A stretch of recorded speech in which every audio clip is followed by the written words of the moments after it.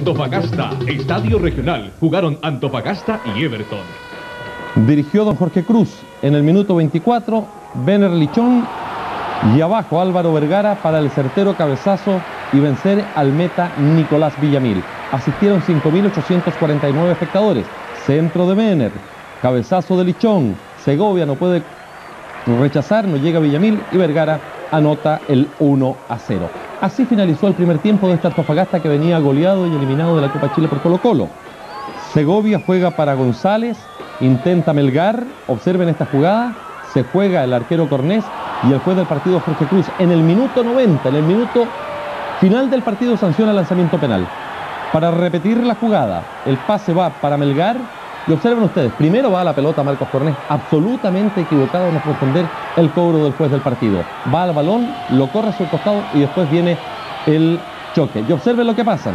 Remate de Franchino y ¿quién lo controla? El especialista, Marco Cornés, que salva a su equipo del empate. Y así tiene que salir entonces don Jorge Cruz ante la indignación de la parcialidad que superó las 5.849 espectadores. Eso aconteció en Antofagasta.